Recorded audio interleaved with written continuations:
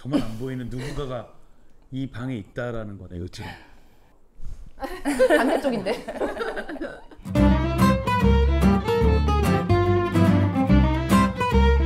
네, 미래 예측 상담소 보임 진행을 맡은 박진우입니다.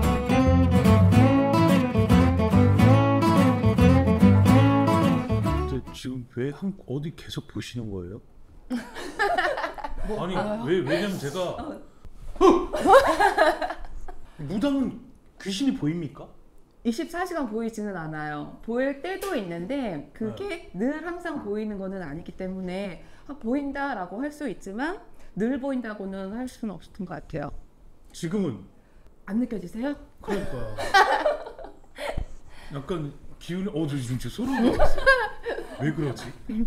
귀신이라고 다 해코지 하지 않아 도와주시는 분도 있거든. 네. 그러니까 무조건 무섭다, 나쁘다 그렇게 당연하셨어요. 생각하지는 않을, 않아도 될 것 같아요. 하루에 몇 번씩 느끼죠. 보고 그런 것도 있어요? 보고 느끼죠. 어, 때로는 운전하면서도 언뜻 언뜻 고속도로에서 뭔가 그냥 어떤 형체. 근데 어, 무속인의 눈에 귀신이 보인다는 건 어떻게 보이냐면 이렇게 사람처럼 뚜렷하게 보이지 않아요. 계속 뚜렷하게 보이는 게 아니라 순간 찰나 어떤 사진 찰칵찰칵 하듯이 그런 식으로 순간 언뜻 언뜻 이렇게 보여지거든요. 그래서 그렇게 보일 때는 처음에는 놀랬지만 이제는 와 그런가 보다.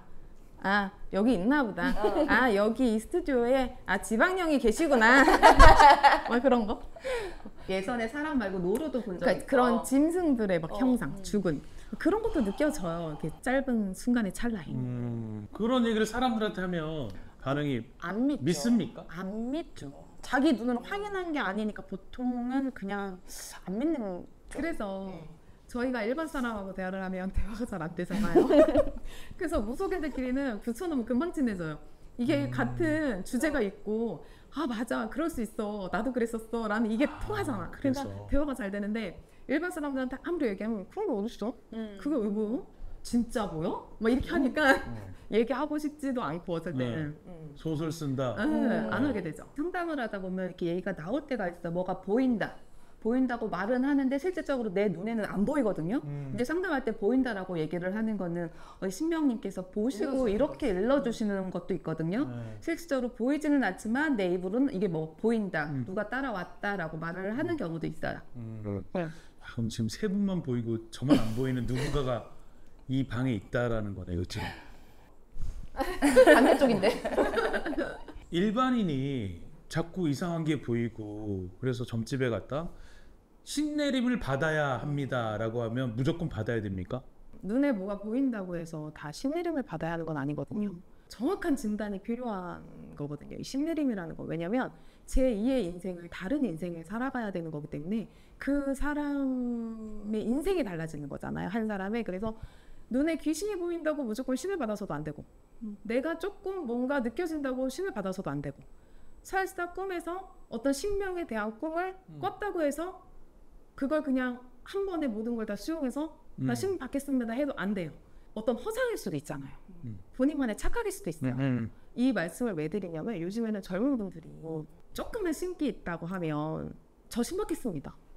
이런 분들이 너무 많아졌어요. 맞아요. 음. 어, 근데 또 그런 분들을 잡아서 그래 너 신 받아야 돼 하고 무조건 좀 신뢰를 해주시는 분들도 아하. 있어요. 아. 근데 그게 나중에 가면 정말 문제가 많이 되거든요. 아. 끝까지 가지도 못하고 또 완전히 불릴 신명단인데 섣불리 받아놔서 아. 그 사람은 그 사람대로 힘들어지고 어. 그래서 안타까운 부분이 굉장히 많아요.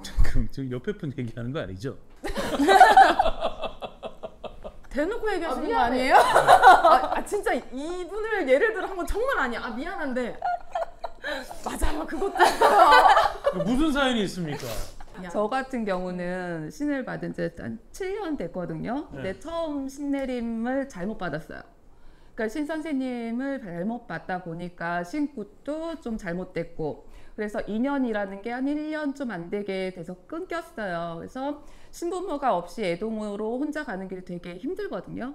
그래서 혼자 되게 고달프게 몇 년을 가다가 우연찮게 이제 이분이랑 신연이 돼가지고 네. 이제 같이 함께 하는 이제 신의 가족이 됐죠. 아. 여기 부살림을 두고 얘기한 게 아닌데 그러니까 알고 있어요, 어, 우리는. 예. 근데 맞네. 알고 있는데 얘기한 것도 맞고. 아 맞아. 그렇죠? 근데 저도 되게 왜 또 안타까웠거든요. 네. 어, 굉장히 자, 안타까웠어요. 화해하세요. 아, 네, 이해해요. 네, 아, 이해해요. 아, 죄송합니다.